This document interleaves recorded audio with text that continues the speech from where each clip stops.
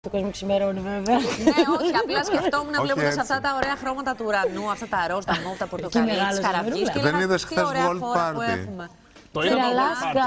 Ναι. Με Παιδιά, το τι βόρειο Σέλασσα ωραίο. στην Αλάσκα, παιδιά. Ε, Ήταν... καλά, εκεί οι μέρες και οι νύχτες διαρκούν ε, πολύ διαφορετικά. Εγώ ζήλεψα πολύ Όχι εκείνη πάρα τη πολύ. βουτιά στα παγωμένα νερά της Αλάσκα. Της βου, τη ζήλεψες; Μπορούμε να σε Τη πάμε στη ζήλεψες. Βραβρώνα με κάμερα. Που στην να Βραβρώνα βουτήσεις. καλοκαίρι δεν βουτάς γιατί κρυώνεις και ζήλεψες στην Αλάσκα. Στην βραβρώνα Σαν εικόνα το βουτάω, ζήλεψε, καλέ. μη Ε, φαντάζεσαι. λίγο. ψαράκι δεν ψήνουν. Κρυώνεις. Ε, και εκεί λίγο θα βουτούσα. Άσε τα ψαράκια, εσύ εκεί, στην κλίτσα του Τσοπάνη. Λοιπόν, πάμε να δούμε τα θέματά μας. Έχουμε Yeah. πολλά θεματάκια.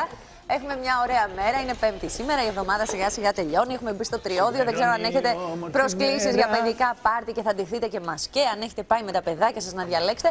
Εμείς πήγαμε με τις κόρες μου και η μία διάλεξε πασχαλίτσα. Εγώ θα ντυθώ τσιπούρα Και η φέτος. άλλη ξωτικό και είχε πλάκα, παιδιά. Τσιπούρα θα ντυθείς, α.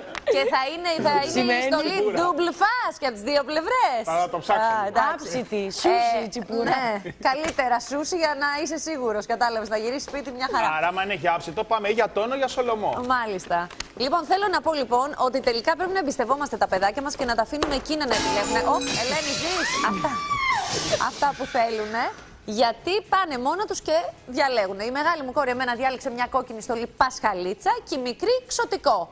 Και λέγανε μετά, δεν είμαι η Νάγια, είμαι πασχαλίτσα. Και έλεγε και η μικρή. Στις γοργόνες Εγώ όχι ανησυχούσες;» μέλι, ξωτικό. Τι γλυκά που είναι όταν ναι, δίνονται Γι' αυτό σας λέω. καρναβαλάκια. Εγώ πήγα να τους διαλέξω άλλες στολέ. Πριγκίπισε, μπαλαρίνες κτλ. Αλλά τελικά. Άσε άκουσα το άμα ένστικτό μεγαλώσουν τους. πριγκίπισσες και μπαλαρίνες. Γοργόνα; Γοργόνα, παιδιά, να σας πω κάτι, μην το πω τώρα, αλλά το μικρό πόνι που δείξαμε προχθές γιατί πήγα σε αυτό το μαγαζί εξαντλήθηκε. Ορίστε. Ναι, γιατί ήταν πολύ ωραία στολή.